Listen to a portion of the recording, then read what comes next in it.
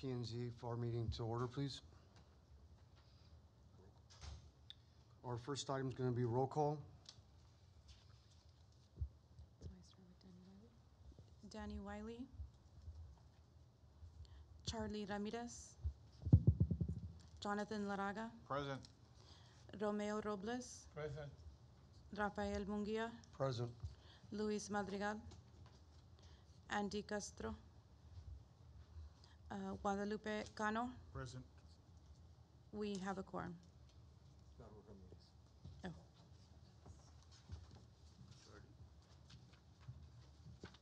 Want to make a motion to uh, excuse the absentees?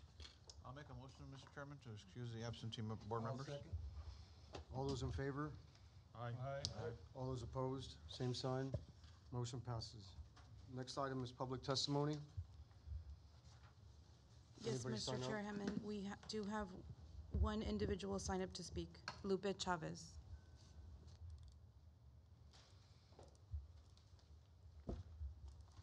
Uh, Hello.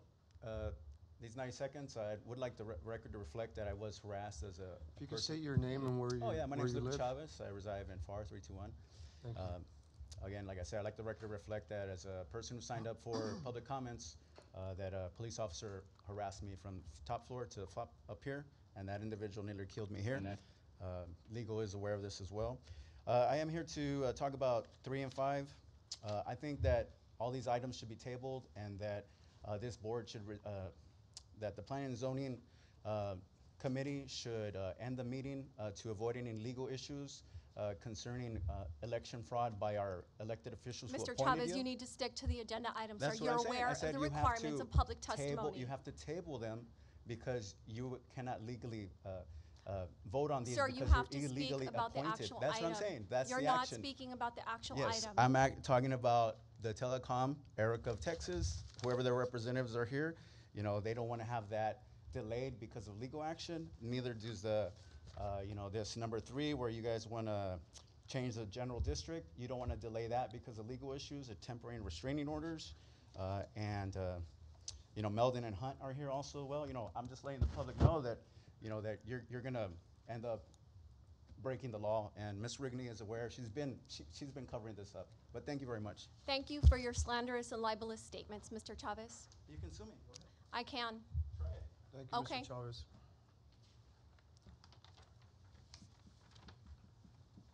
Next item is the approval of minutes. We can entertain a motion. Mr. Chairman, I'll- corrections, I move to approve. Yeah, I'll- I'll second, Mr. Chairman. All those in favor? Aye. All those opposed, same sign. Motion passes. Next item is public hearing.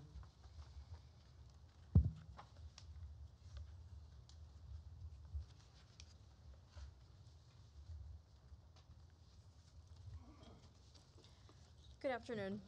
My name is Laura Fonseca, City Planner One for City of Pharr, and I am presenting uh, Brownstone Consultants LLC on behalf of Rhea Nanette Mora, owner, has filed with the Planning and Zoning Commission a request for change of zone from agricultural and/or open s- space district AO to residential multifamily district MF RMF in order to develop and construct uh, apartments.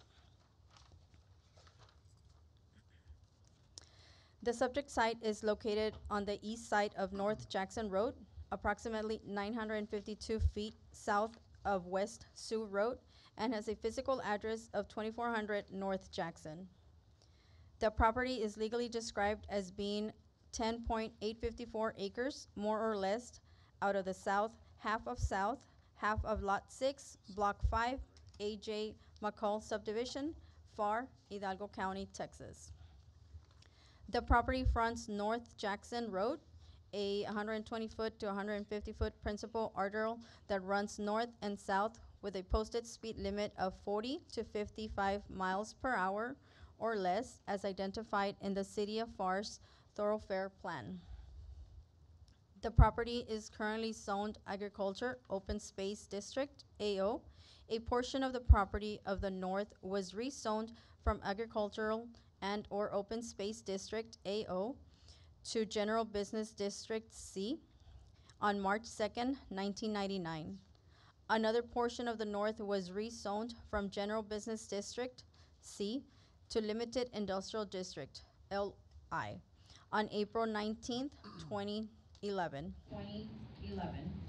A last portion of the north was rezoned from Limited Industrial District, LI, to High Density Multifamily Residential District, R4, on January eleventh, twenty sixteen. The property to the south is zoned Agriculture and/or Open Space District, AO. The city limits lie to the west. There have been no other zoning requests within the vicinity of the subject property since that time. The property is generally designated for commercial, single-family residential, and multifamily residential use in the land use plan. The residential multifamily district, RMF, is established to provide adequate space and site diversification to low to medium density residential development where adequate streets and other community facilities are available to present, to present and future needs. This district is established for duplex, fourplex, and development as low to medium density use, and additional requirements for streets, water and fire protection, wastewater, drainage, and adequate open space shall be met before zoning to such use. It is established to protect the residential areas as far as possible against heavy traffic and zoned promote the most desirable use and of land and direction of building development not in conflict with the city's comprehensive plan. Twenty-six letters were mailed out to the surrounding properties within the two hundred foot radius owners on August fifth, twenty twenty-two. And a legal notice was published in the Advance News Journal on August third, twenty twenty-two. Staff received one response for information to the letters or legal notice. And for the record, he is present. Okay, we'll D- open, go ahead. Development Services is recommending approval of the request for rezone from Agriculture and Open Space District, AO, to Residential Multi-District, RMF, as the property meets area requirements and has adequate ingress and egress. If approved, the owner must comply with all city ordinance and city requirements. And we do have representation for that as well. Perfect. Would they want to come up and speak? We'll open the public hearing.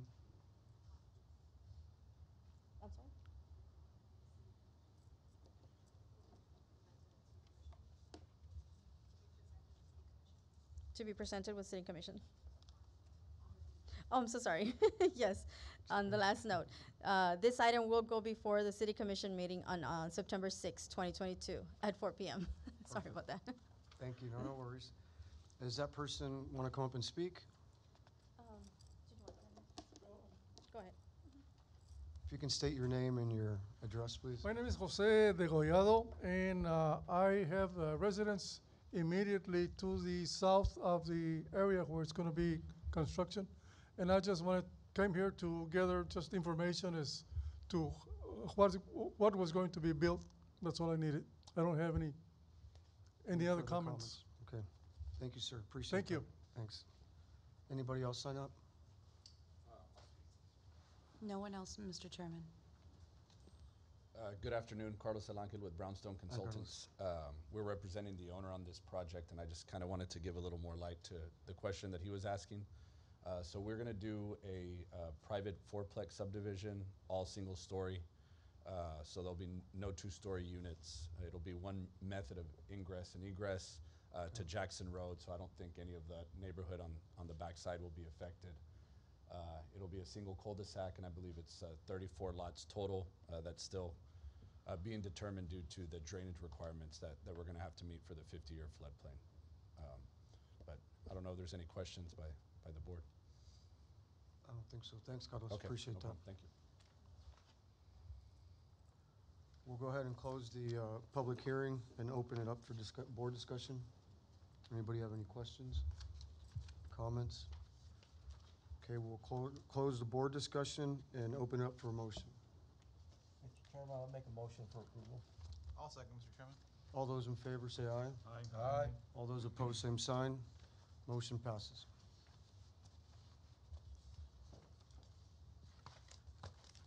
Next item.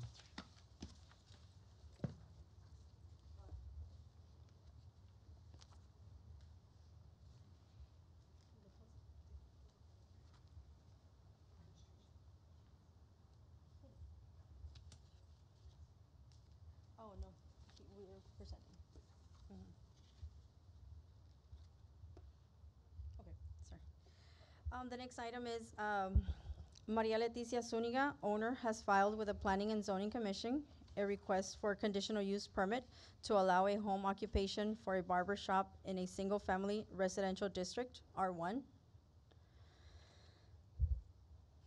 The property is legally described as being Lot twelve, Block two, Countryside Terrace subdivision, Pharr, Hidalgo County, Texas.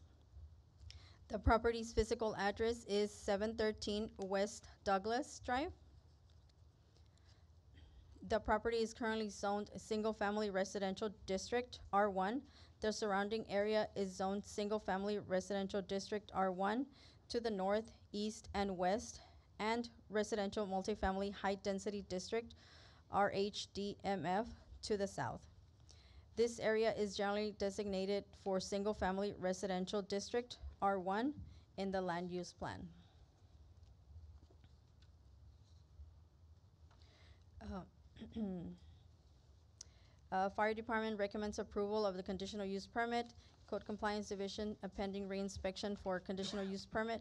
Planning Division recommends uh, approval of conditional use permit.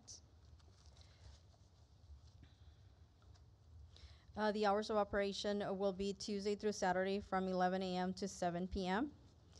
39 letters were mailed out to the surrounding property owners within 200 foot radius on August 5th, 2022, and a legal notice was was published in the Advance News Journal on August 3rd, 2022. Staff received one response to the letters of the legal notice. Development Services is recommending approval of the home occupation for a barber shop in a single-family residential district, R1, subject to compliance with other ordinance, city ordinance, and city de- department requirements as listed. And uh, we do have representation for that as well. We'll go ahead and open the uh, public hearing. If there is anyone that wants to speak on this item, want to come up? Yes, sir, we do have, there are one individual signed up to speak. Alejandro Navarro, He signed up, but he did not. he signed up, but he's not present. He's not present. Okay, thank you. We'll close the uh, public hearing and uh, open it up for board discussion. I have a question for code compliance. Uh, It says it's pending reinspection for a conditional use permit. Has a reinspection been done? Uh, Not yet on that. Uh, Usually they go once, uh, if it, if it's approved, then they go and do the Oh, inspection okay. for that. Any- Mr. Chairman, if there's no other questions, I move to approve. Do we have a second? You need to close the, I'll second. Your second? Okay. All those in favor say aye. Aye. All those opposed, same sign. Motion passes. Thank you, gentlemen. Thank you.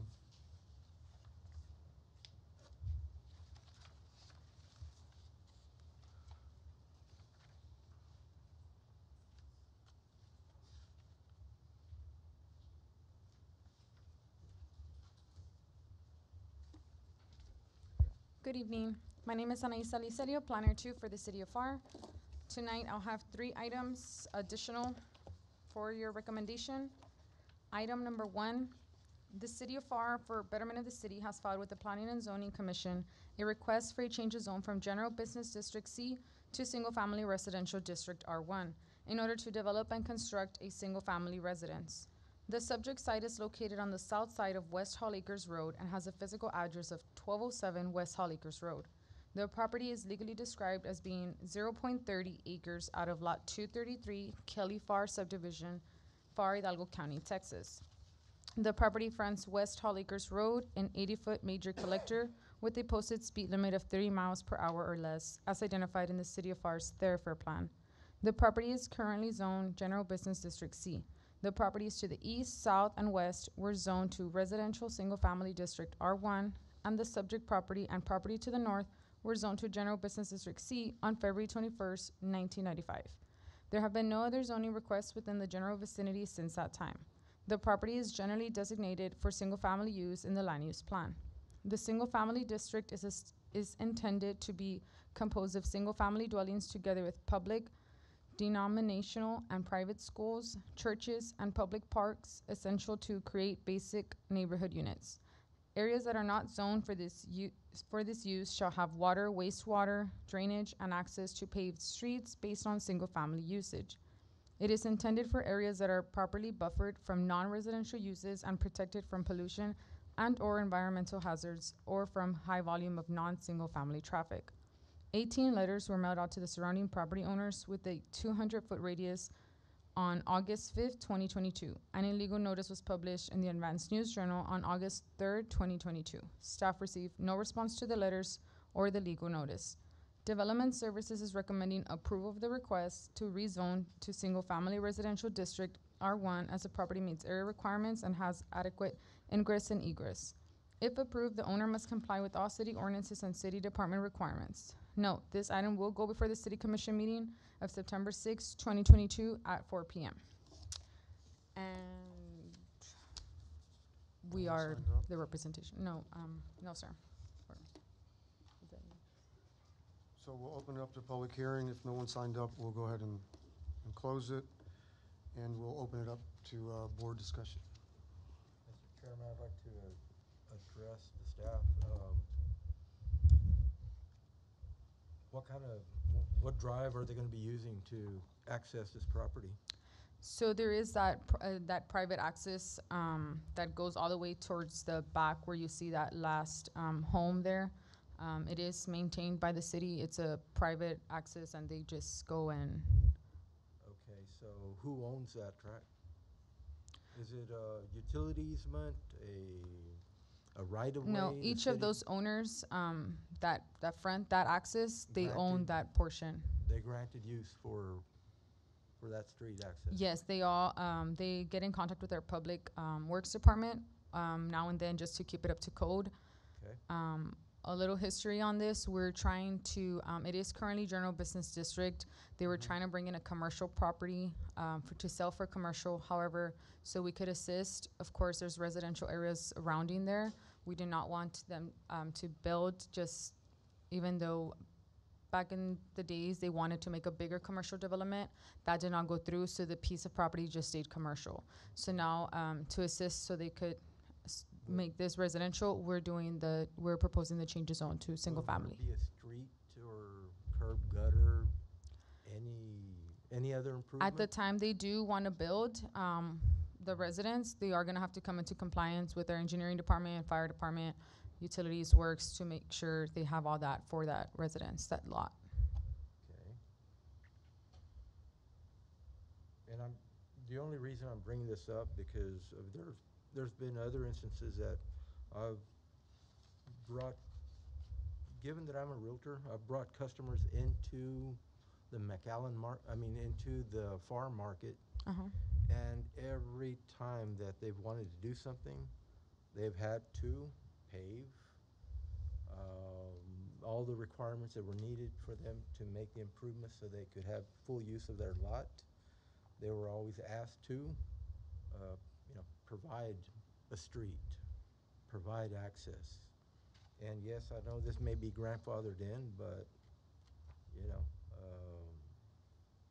just want to make sure it's uh, something that we would um, be okay in approving, because, I mean, I haven't driven that, I mean, I think I drove that once and had a hard time turning around, just because I had somebody that was interested in a property that was in the back, and I had to go around uh, through the other street, but that's all I Yes, have. we would, I mean, um, thanks, thanks for at the your- time of, um, c- development, to develop the property, we would make sure they were up to compliance, um. Okay.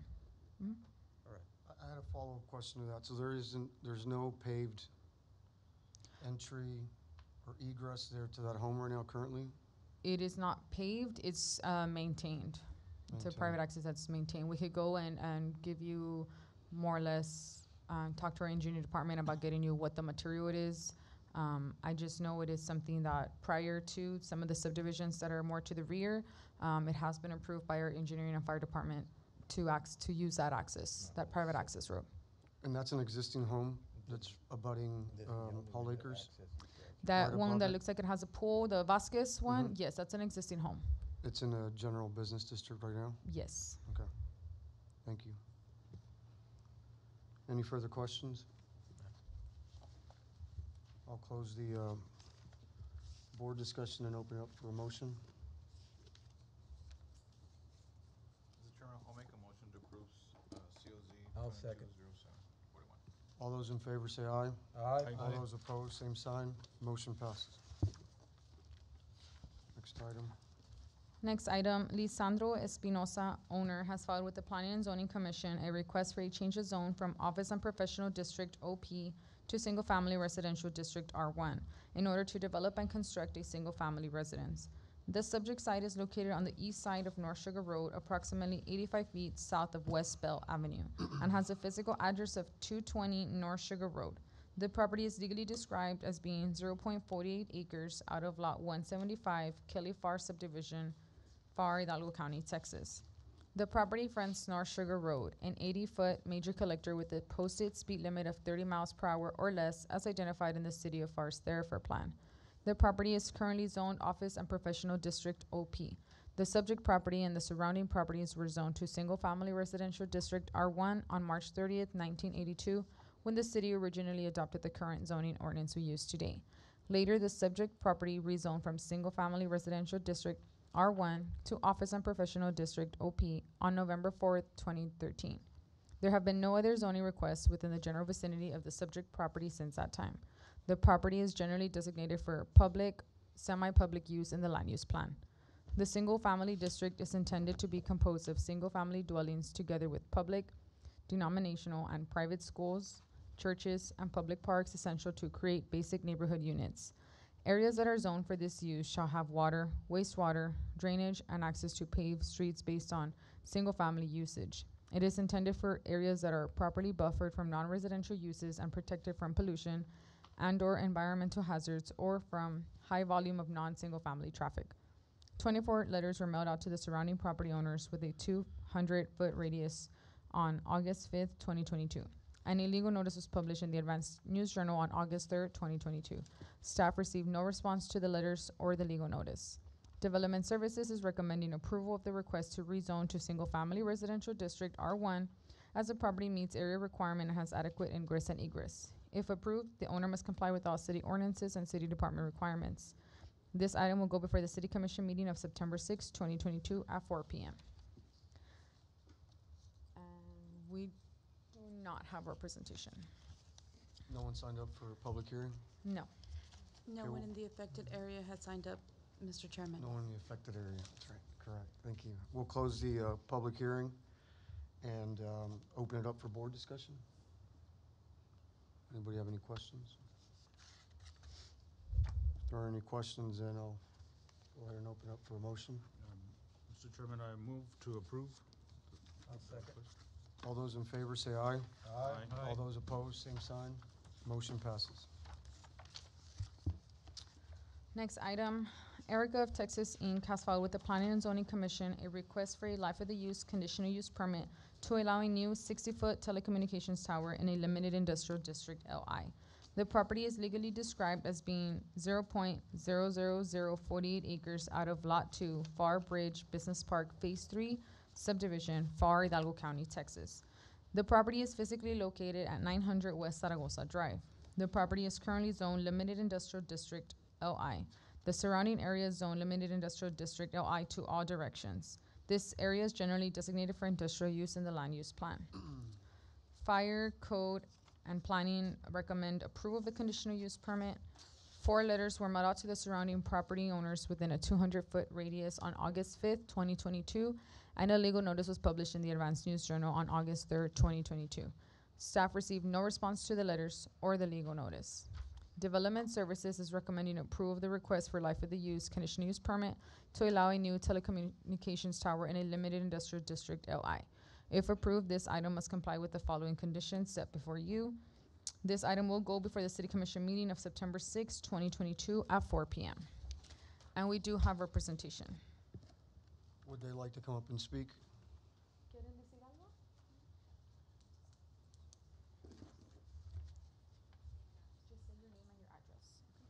It's Omar Coronado, McAllen, Texas. Uh, this project is from Erika, Texas. We are a manufacturing plant in Reynosa for medical product, uh, dialysis and hemodialysis. You might see some of clinics uh, of the company Fresenius Medical Care. Um, this tower for communication, um, it will permit us to have a communication, private communication between our manufacturing sites in Reynosa and, and our new warehouse that we lease. We already are in Military Highway. Uh, we want to move to this new lease uh, building. And this tower is, is for um, private communication between our facilities uh, because we are regulated by FDA, uh, TUE, or uh, other regulation, OSHA, etc. So we manage uh, important um, information between uh, us. So that's the main reason of this tower. It's not. It's, we are not carrier. We're not going to share. Uh, this is truly private between the company facilities. That that's want to clarify. Thank you. Thank you. Anybody have any questions? Yes. Uh, how tall is the tower? Uh, I believe it's 60, Huh? feet, 60 feet. Sixty feet? Yep. And you have proper clearance around it in case, The what? Excuse me. is there a clearance in case the tower falls for whatever reason? Oh, it's a around it? self self supported tower. Yeah. So I th- have no more questions. Thanks, Jonathan. Any other questions? Thank you, sir. Appreciate you. it. Thanks. Anybody else sign up to speak? No one in the affected In the area has affected signed area. up, Mr. Chairman. Thank you. We'll close the um, public hearing and we'll open it up for board discussion. Anybody have any questions? We're good? We'll close the board discussion and open it up for a motion. Mr. Chairman, I'll make a, a motion to approve SUB twenty-two, I'm sorry, uh, C, CUP twenty-two zero eight forty-three. Second. All those in favor say aye. Aye. All those opposed, same sign. Motion passes. Thank you, gentlemen. Thank you.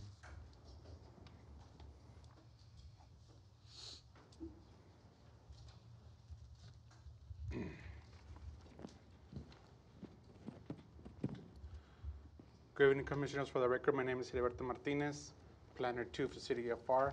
Tonight, we only have one item for your recommendation. Let me get to that page quick.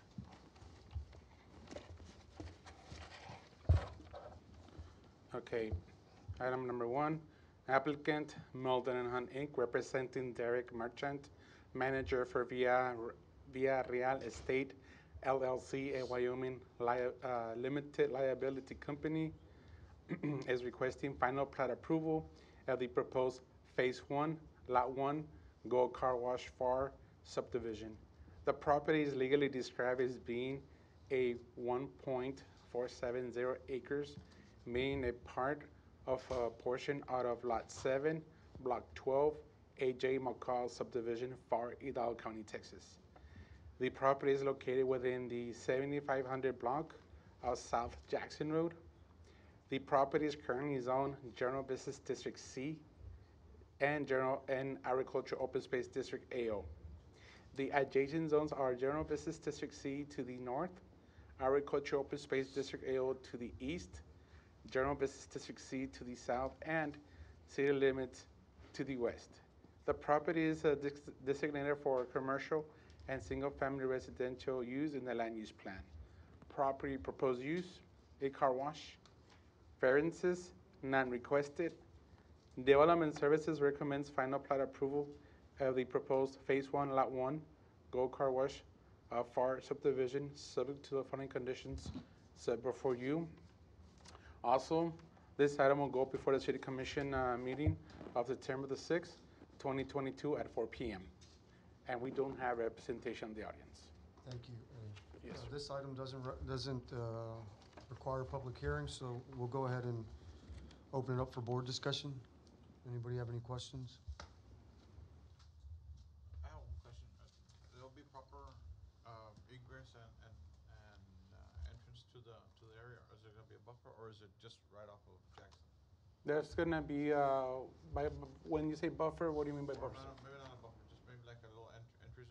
zone. In not, it's gonna be right off of Jackson going in, or is there gonna be a little space? There's gonna be queuing for the vehicles, so they need to come in, and there's gonna be a point where they're gonna stop and actually go into the actual tunnel for the car wash. Yes, sir, there will be, uh, proper queuing. Yeah, because, uh, other places, we, we see a lot of traffic there in Jackson, so an- another similar When establishment. they're off to the road, I agree. Yes, sir. I have no further questions. Anybody else? Any questions? If we don't have any questions, then we'll close, the- close the board discussion and open it up for a motion. Motion, motion to approve. I'll second. All those in favor say aye. Aye. All those opposed, same sign. Motion passes. Thank you, Eddie. Thank Appreciate you, it. Commissioners. Um, Next item is announcements and other business. Don't hide over there, Roland. Mhm. Oh, Um, none, okay, perfect. Chairman, uh, I was, I was talking to Andy Castro. He will not be attending for the next few months since he does uh, refereeing for football games. Okay, So, and he asked what the process would be for our board to give him some time off. He- he's- He needs to send a letter. Uh, Andy Coster will not be available on Mondays, uh, since he, uh, does, he's a referee for, uh, football games, for, um, high school, junior high, that sort of thing. And so, does he need to put a, a letter to the staff or board or? We'll review that um, after the meeting, if that's okay. Sure. Um, I'll go ahead and look at the, at the appointment and the requirements. Okay. Um, And we'll go Sure. ahead and discuss it with staff and advise him what the best uh, course to take is. Okay, very well. Thank you. Thank you. You're welcome. Thanks, Charlie. If uh, there aren't any other announcements or business, then um, we'll move on to. Chairman, I move to adjourn. Adjourn. I'll second. All those in favor say aye. Aye. All those opposed, same sign. Motion passes. Thank you, guys. Thank you so much. Louise? We survived it.